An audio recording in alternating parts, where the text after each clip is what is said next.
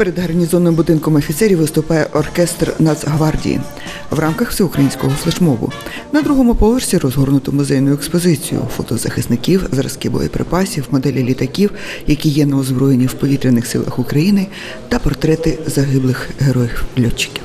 Для вас День Збройних сил. Це я вважаю це чоловіче свято, і кожен поважаючий собі чоловік має пройти військову службу в Збройних силах України. Це професійне свято. По-перше, так. Ви Це пишаєтесь? я пишаюся. Нам є чим пишатися. Урочистості з нагоди Дня Збройних сил України відкриває оркестр Центру військово-музичного мистецтва повітряних сил України. У залі серед присутніх три покоління захисників України. На цей час повітряні сили виконують бойові завдання з охорони державного кордону України в повітряному просторі.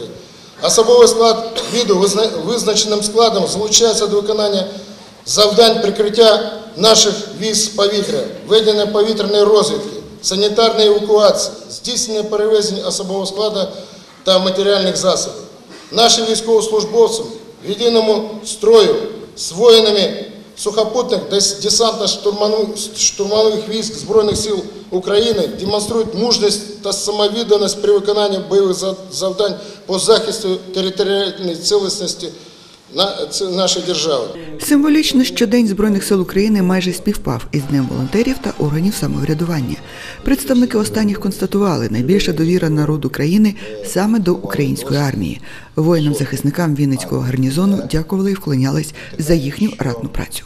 Військова міць Збройних сил України різними міжнародними організаціями дослідницькими визначається як восьма в Європі і тридцята в світі.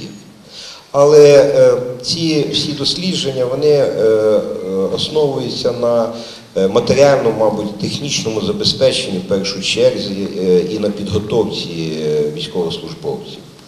Немає такої норми або такої шкали оцінки, як патріотизм, мужність, самовідданість.